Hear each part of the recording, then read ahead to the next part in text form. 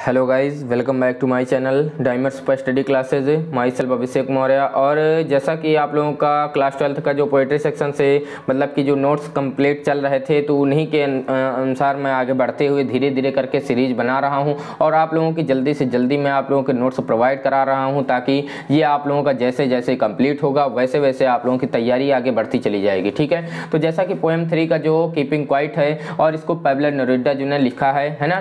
तो इसके आप लोगों को नोट्स नोट्स देने हैं और देखते हैं आगे क्या है नोट्स में। तो स्टांजा फॉर कॉम्प्रिहेंशन चलते हैं और पढ़ते हैं। Comprehension now we will say start है और आल कीप स्टिल तक हन्ना, है? इस तक चलना है। तो name of the poem and the poet of these lines ये आप लोगों को बताना है। तो the name of the poem is keeping quiet and the name of the poet is Pablo Neruda जैसा कि पहले बता चुके हैं हम अभी, है ना? What is the poet ask us to count to twelve तो there are only 12 signs on the clock to measures hours therefore the poet asks us to count till the clock measures these hours घड़ी में कितने होते हैं 12 तक की तो बचते हैं ठीक है आगे चलते हैं why does the poet ask us to keep still too much activity and rush has only brought misfortunes to mankind. Hence, it is better to, क्या है?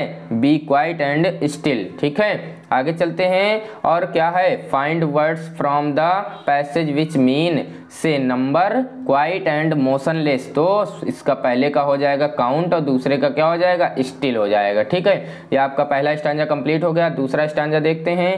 पर perhaps the earth dash dash so quiet and I will go है last है हमें लगता है, ठीक है? What can the earth teach us तो the earth can teach us a lesson how to be inactive and silent and then become alive ठीक है? ये है। उसके बाद दूसरा क्वेश्चन है what remains alive when everything seems dead तो only the earth remains alive when everything seems dead ठीक है? तो आगे बढ़ते हैं तो क्या है? Who is the poet what does he want to do the poet is Pablo Neruda he wants to count up to twelve ठीक है? अगला क्वेश्चन क्या है? What does the poet ask us to do तो क्या है? He asks us to keep quiet while he is is say आगे बढ़ते काउंटिंग अप टू ट्वेल्व है। ठीक है, ये आपका हो गया। बिल्कुल। और ये सेंट्रल आइडिया देख रहे होंगे तो ये आप लोगों को नेक्स्ट वीडियो में मैं बताऊँगा। और ये आप लोगों के स्टांजा बेस्ड क्वेश्चन आंसर हो गए। और ये बिल्कुल एकदम ईजिली आप लोगों को मैंने बता दिया है, कोई ज़्यादा प्रॉब्लम नहीं है। अगर आप लोग वीडियो नहीं देखे हैं इसकी हिंदी ट्रांसलेशन की तो जाके पहले उसको देखिए जाके।